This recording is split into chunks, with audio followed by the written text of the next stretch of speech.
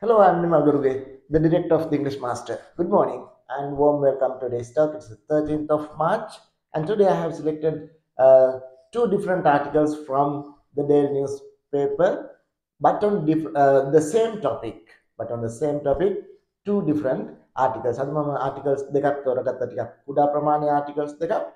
But uh, two of these articles are related to one topic. මේ Articles දෙකම එකම මාතෘකාවක් ගැන තමයි සාකච්ඡා වෙන්නේ. So let us look at uh, the news headlines. Rupee appreciation claim falls JVP. Rupee appreciation claim falls JVP. Rupee appreciation මේ දවස්වල ප්‍රධාන රටේ කතා බහට ලක් වෙන මාතෘකාව තමයි uh, රුපියලේ අගය වැඩිවීම එහෙම නැත්නම් ඩොලරය පහත යාම කියන කාරණය. ඉතින් රුපී appreciation එතකොට රුපියලේ අගය වැඩිවීම ඒ ප්‍රකාශය claim ඒ ප්‍රකාශය රුපියලේ අගය වැඩිවීම කියන ප්‍රකාශය false ඒක වැරදි කියලා තමයි කියන්නේ JVP එක එහෙම කියනවා. ඉතින් රුපියලේ අගය වැඩිවීම කියන ප්‍රකාශය බොරුවක් කියලා තමයි JVP එක කියන්නේ. Alright, let's look at the uh, news detail here. JVP General Secretary Tilvin Silva said the government's claim that the rupee is strong is false. He also said that the published reports about strengthening the rupee cannot be accepted. He was speaking at a press conference in Colombo. He emphasized that today Sri Lanka has become a country that does not have enough money to hold an election. ඉතින් ඔය විදිහට තමයි news report එක තියෙන details ටික අපි බලමු ඒක තේරුම් ගන්න. JVP General Secretary Tilvin Silva. එතකොට JVP එකේ මහලේකම් Tilvin Silva said the government's claim said ඔහු කිව්වා government's claim රජයේ ප්‍රකාශය නැත්නම් ආණ්ඩුවේ ප්‍රකාශය government's claim ආණ්ඩුවේ ප්‍රකාශය that කුමන ප්‍රකාශයද that මෙන්න මේ මෙන්න මේ ප්‍රකාශය that the rupee is strong. That මෙන්න මෙසේ යයි යන වග right? The claim that the rupee is strong. රුපියල ශක්තිමත් කියන ප්‍රකාශය that the rupee is strong. The rupee is strong. රුපියල ස්ථාවරයි නැත්නම් රුපියල ශක්තිමත් කියන ප්‍රකාශය is false. It is a false. නැත්නම් it is false. එක වැරදි එක බොරුවක්. Right? ඉතින් ඔහු එහෙම කියනවා. He also said that. බලන්න ඔහු ඒ වගේම ප්‍රකාශ කළා. He also said that. ඔහු ඒ වගේම ප්‍රකාශ කළා. The published reports. The published reports. ඒ කියන්නේ ප්‍රසිද්ධ කරන ලද වාර්තා. Published reports. ප්‍රකාශයට පත් කරන ලද වාර්තා. Published reports about about කියන්නේ ගැන about strengthening මේ බලන්න. Strengthen strength කියනවා ශක්තියට නවුන් එකක්. Strengthening කියනවා ශක්තිමත් කිරීම සම්බන්ධයෙන්. Strengthening the rupee. එතකොට reports published reports about strengthening the rupee. එතකොට රුපියල ශක්තිමත් කිරීම පිළිබඳ පළවෙච්ච වාර්තා. Cannot be accepted. Cannot be accepted. එක පැසිව් වලින් තියෙන බලන්න. Can't be කියන එක. Cannot be accepted. Accept කියන්නේ පිළිගන්නවට cannot be accepted. ඒක පිළිගත නොහැකි කියලා තමයි ඔහු ප්‍රකාශ කරන්නේ. And he was speaking at a press conference. ඔහු කතා කරමින් හිටියා. He was speaking. බලන්න. He was speaking. Past continuous. ඔහු කතා කරමින් හිටියා. He was speaking at a press conference. මාධ්‍ය සාකච්ඡාවකදී in Colombo කොළඹ පැවති මාධ්‍ය සාකච්ඡාවදී ඔහු මෙසේ පවසමින් හිටියා කියලා කියන්නේ. He emphasized බලන්න මේ වචනේ emphasized. ඔහු අවධාරණය කළා. He emphasized ඔහු අවධාරණය කළා that. මෙන්න මේ කාරණේ යන වග. මේ බලන්න. එතන තියෙන that එක. ඉතින් මම මේ grammar වලට අද පැහැදිලි කරන්නේ. ඒක තමයි ඔබට මේ විදිහට that versus that. මම මේක පැහැදිලි කරලා කියලා දෙන්න එක. Emphasize that. මෙන්න මේ කාරණේ මොකද්ද? Today Sri Lanka has become a country. Hmm? He emphasized that. එතකොට ඔහු අවධාරණය කළා that මෙන්න මේ කරුණ යන වග. මොන වගේද? Today Sri Lanka has become a country. අද ශ්‍රී ලංකාව has become බවට පත් වෙලා තියෙනවා. Has become බවට පත් වෙලා තියෙනවා. කුමක් බවටද? A country රටක් බවට. කුමන රටක් බවටද? මෙන්න ආපහු that භාවිතා වෙනවා. Right? මෙතනත් that භාවිතා වුණා. මෙතනත් that භාවිතා වෙනවා. But two different occasions two different meanings. මෙතන that භාවෙන්නේ භාවිතා වෙන්නේ එක අර්ථයකින්. මෙතන that භාවිතා වෙන්නේ එක අර්ථයකින්. ඉතින් ඒක තමයි මේකේ තියෙන වෙනස. මම ඔයගොල්ලන්ට ඒ වෙනස තමයි අද කියලා දෙන්නේ. And a country that does not have enough money. A country that does not have enough money. එතකොට enough money නැති රටක්. ඒ කියන්නේ ප්‍රමාණවත් තරම් සල්ලි නැති රටක්. Does not have enough money. ප්‍රමාණවත් තරම් සල්ලි නැති රටක් to hold an election to hold an election මැතිවරණයක් පැවැත්වීමට. මැතිවරණයක් පැවැත්වීමට සල්ලි නැති රටක් විදිහට තමයි ලංකාව අද තියෙන්නේ කියලා ඔහු එම්ෆසයිස් කරා කියලා කියනවා අවධාරණය කළා කියලා කියනවා. ඉතින් මේ that versus that මම පැහැදිලි කරන්නම්. මේ නිවුස් රිපෝට් එකත් ඔබට කියලා දීලා ඊට පස්සේ. Rupee appreciation due to dollar liquidity state minister. බලන්න මෙතන තියෙන ප්‍රකාශය සිල්වින් සිල්වා මෙහෙම කියනකොට rupee appreciation රුපියලේ අගේ වැඩිවීම due to dollar liquidity due to dollar liquidity. එතකොට ඩොලරේ ද්‍රවශීලතාවය අනුව ලික්විඩිටි කියන්නේ ද්‍රවශීලතාවය කියන ඩොලරේ ද්‍රවශීලතාවය අනුව තමයි රුපියලේ අගේ වැඩිවීමක් වෙලා කියලා තින්නේ කියලා due to හේතු කොටගෙන තමයි කියලා කියනවා ස්ටේට් මිනිස්ටර් රාජ්‍ය අමාත්‍යවරයා. I think මෙයා කියනවා තවදුරටත් මේ බලන්න sorry about Silva's little knowledge. ටිල්ලින් සිල්වාගේ little knowledge කුඩා ප්‍රමාණයේ මේ දැනුම පිළිබඳ sorry about අපි කනගාටු වෙනවා කියලා ප්‍රකාශ කරනවා.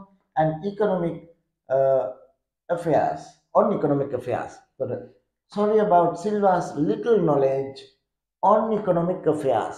But on economic affairs ආර්ථික කටයුතු සම්බන්ධයෙන් තියෙන sorry about Silva's little knowledge ටිල්ලින් සිල්වාගේ කුඩා little knowledge කුඩා දැනුම සම්බන්ධයෙන් අපි කනගාටුවට පත් වෙනවා කියලා තමයි ප්‍රකාශ කරන්නේ.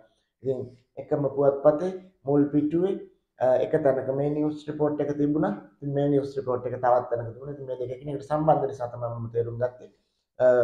මේක ඔබට පැහැදිලි කරන්න ඕන කියලා. And uh, the the next part the official exchange rates are better. බලන්න. The official exchange rates නිල විනිමය අනුපාත විනිමය අනුපාත are better better කියන්නේ වැඩිපුර හොඳයි. දැන් මේවට වඩා මොනට වඩාද the rates offered in the grey market grey market එකේ අලු වෙළඳ පොලේ තිබුණු rates වලට පිරිනමන ලද rates වලට ඒ අගයන්ට වඩා for the first time ඉතිහාසයේ පළමු වතාවට for the first time පළවෙනි වතාවට? After many months after many months මාස ගණනාවකට පස්සේ පළවෙනි වතාවට. Finance state minister Shihan Semsingh said Shihan Semsingh finance state minister මුදල් පිළිබඳ රාජ්‍ය අමාත්‍ය සේහන් සේමසිංහ එහෙම කිව්වා කියලා තමයි කියන්නේ. So uh, let's look at uh, this that. අපි ඉතින් මේ that එක සම්බන්ධයෙන් දැන් බලමු. මේ බලන්න මෙතන. He emphasized that. මගේ grammar lesson එක එක තමයි අද මේ බලන්න grammar වලදී that භාවිතා වෙන විදිහ that versus that that දෙවිදිහකට භාවිතා වෙන විදිහ මම ඔයගොල්ලන්ට කියලා දෙන්නේ සාමාන්‍ය අර්ථයෙන් that භාවිතා වෙන විදිහ ඔයගොල්ලෝ දන්නවා කිම්කෝ දැන් මේක මේක පෑනක් කියලා අපි කියනවා this is a pen. එතකොට අතන පෑනක් තියෙනවා අපි කියනවා that's a pen, that is a pen. ඒ විදිහට කියන්න පුළුවන්. then that's my car එක මගේ කාර් එක. that's my home. that's my uh, purse. ඒ විදිහට කියන්න පුළුවන්. that's my umbrella. දුර තියෙන දෙයක් පෙන්නලා අපි එහෙම කියන්න පුළුවන්. අරක මෙහෙමයි කියලා. එතකොට එහෙම නැත්නම් අපි කියනවා that car is mine. අර කාර් එක මගේ. එතකොට adjective එකක් විදිහටත් භාවිතා කරන්න පුළුවන්. Uh, pronoun එකක් විදිහටත් that භාවිතා වෙනවා. ලාට ඇජෙක්ටිව් එකක් විදිහට ප්‍රධාන වශයෙන් භාවිතා වෙනවා that that is my car නැත්නම් that's my car නැත්නම් that car is mine කොහොමද එකම අර්ථය තියෙන්නේ that is my car that's my car නැත්නම් that car is mine අරක මගේ කාර් එක. නැත්නම් අර කාර් එක මගේ. That car is mine. ඒක තමයි සාමාන්‍ය අර්ථය. But here in two different occasions මේ බලන්න uh, අවස්ථා දෙකකදී that භාවිතා වෙන විදිය ඉතින් මෙතනදී මේ he emphasized that. ඔහු මෙන්න මේ කාරණේ මෙන්න මෙසේ යන වග මේ බලන්න මේ that භාවිතා කළා. ඊට පස්සේ අපි සම්පූර්ණ වාක්‍යයක් තියන්න පුළුවන්. Right? ඉතින් මේක ඔබට වඩාත්ම ප්‍රායෝගිකයි. Reported speech වාක්‍යයක් ගත්තොත් එහෙම the minister stated that දැන් මෙතනත් ඒ වගේ බලන්න. He emphasized ඔහු අවධාරණය කළා that. මේ that කියන්නේ මොකක්ද it කියන කාරණේ. ඔහු ඒක අවධාරණය කළා. He emphasized it. ඔහු ඒක අවධාරණය කළා. මොකක්ද ඔහු අවධාරණය කළේ? He emphasized that. ඒ කියන්නේ it කියන කාරණේ. එතකොට it කියන කාරණේ වෙනුවට අපි මෙතන සම්පූර්ණ වාක්‍යයක්ම යොදා ගන්නවා. මම හිතන්නේ ඔබට පැහැදිලි එක. He emphasized ඔහු අවධාරණය කළා. He emphasized that ඔහු මෙසේය යන වග මෙසේය යන කරුණ අවධාරණය කළා. තොට he emphasized it ඔහු ඒක අවධාරණය කළා. මේ that කියන්නේ it වෙනුවට යොදාගන්න තවත් වචනයක් right? it වෙනුවට තමයි අපි that යොදාගෙන තියෙන්නේ. එතකොට මේ that යොදාගෙන සම්පූර්ණ වාක්‍යයක් that වලට පසුව යොදා ගන්නවා. He emphasized that today Sri Lanka has become a country that does not have enough money to hold an election. ඔය විදිහට තමයි වාක්‍ය ගලාගෙන යන්නේ. That යොදාගෙන ඊට පිටුපසින් සම්පූර්ණ වාක්‍යයක්ම යොදනවා. අපි ඒකට කියනවා noun clause කියලා grammar වලදී. Noun clause. මේ නාමපදේ it කියන නාමපදේ වෙනුවට සම්පූර්ණ වාක්‍යයක්ම යොදනවා. ඒක ගැඹුරු කතාවක්. සරලව තේරුම් ගන්න. He emphasized it ඔහු ඒක අවධාරණය කළා. he emphasized that ඔහු මෙසේය යන වග අවධාරණය කළා. මේ that වලට පසුව සම්පූර්ණ වාක්‍යයක් භාවිතා වෙනවා. subject verb තිබෙන it වෙනුවට තමයි මේ සම්පූර්ණ වාක්‍ය භාවිතා කරන්නේ. he emphasized it. ඔහු ඒක අවධාරණය කළා. ඔහු මෙන්න මෙසේ මෙසේ යයි යන වග අවධාරණය කළා. එතකොට that වලින් පසුව සම්පූර්ණ වාක්‍යයක් භාවිතා කරනවා අපි එකට කියන නම තමයි noun clause. අපි එකට කියනවා noun clause. මේ බලන්න. noun clause කියන්නේ නාම වාක්‍යයක්. noun clause. noun clause එකක් කියන්නේ නාම වාක්‍යයක්. මේ it කියන නාම පදයේ වෙනුවට අපි සම්පූර්ණ වාක්‍යයක් භාවිතා කළා. that කියන subordinating conjunction එක භාවිතා කරමින්. that වලට පසුව සම්පූර්ණ වාක්‍යයක් භාවිතා කරා. අපි ඒකට කිව්වා noun clause. නාම වාක්‍ය කියලා අපිට සිංහලෙන් කියන්න පුළුවන්. ඊට වඩා මේ noun clause කියන වචනේ මතක තියාගත්තා නම් හරි. noun clause. මම හිතන්නේ ඔබට පැහැදිලි noun clause එකක් කියන්නේ that යොදාගෙන මෙතනදී අපි ඊට පිටුපසින් සම්පූර්ණ වාක්‍යයක් සම්බන්ධ කිරීම. ඒ වාක්‍ය සම්බන්ධ වෙන්නේ it වෙනුවට that සම්බන්ධ වාචික පදේ සමග. noun clause කියන්නේ අන්න ඔකට ඊට මෙතන බලන්න that භාවිතා වෙන විදිහ become a country. රටක් බවට පත් වෙලා තියෙනවා. මේ බලන්න කුමන රටක්ද? A country that මෙතන මේ රට විස්තර කිරීම සඳහා තමයි අපි මෙන්න මෙතන that භාවිතා වෙන්නේ. මේ country රට මගේ රට විස්තර කිරීම සඳහා තමයි that භාවිතා කරලා තියෙන්නේ. රට විස්තර කරනවා මේ that එකෙන්.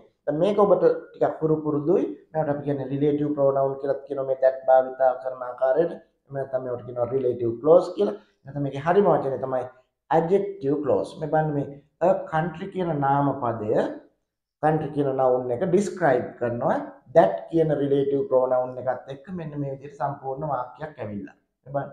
That does not. මෙතනත් that කියන්නේ it කියන අර්ථයට සමානයි.